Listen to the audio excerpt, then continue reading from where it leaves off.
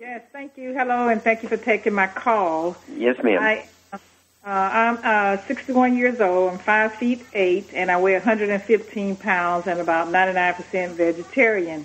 Besides osteoporosis, I uh, and I take your pig pack and selenium with great results. Thank you. Okay. I also have a um, high allergy to citrus, uh, especially lemon and limes. But my concern is that two years ago I was diagnosed with a liver cyst that was 12 centimeters, and last month I had it rechecked with an ultrasound, and I was told that it was 15 centimeters.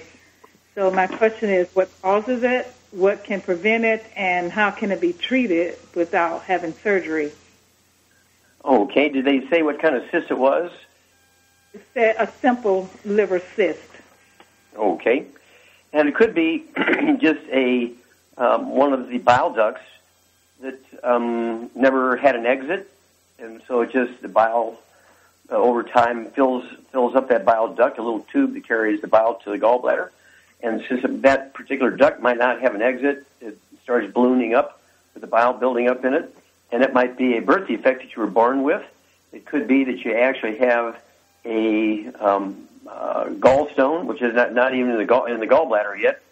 But uh, gallstones are not caused in the gallbladder; they're actually caused in the liver, and uh, they drop into the, in the into the uh, gallbladder, and it gets blamed for it. But really, these um, gallstones are caused in the liver, so it could be a gallstone blocking that um, um, bile duct.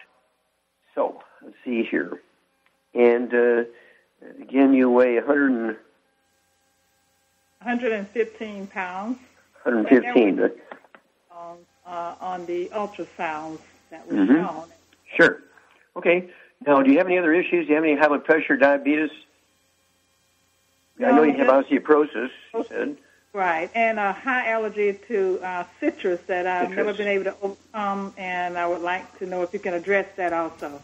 Okay, um, Mary, um, what I'm going to suggest to you is this: I, you know, go to the medical school. I don't know how close you are to Atlanta. There's Emory um, University and the medical school there. I know them very well.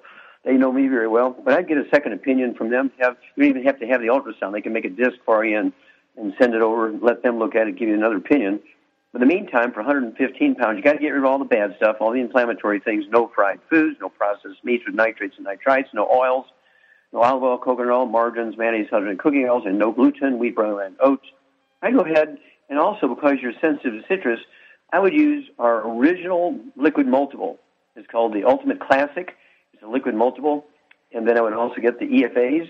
So you can uh, take your body weight. You can take three of those EFAs at breakfast or dinner time has two bottles of the EFAs per month, um, one bottle a month of the Ultimate um, Classic liquid. Uh, take a tablespoon twice a day. That's a half ounce twice a day, so it'll last you a month.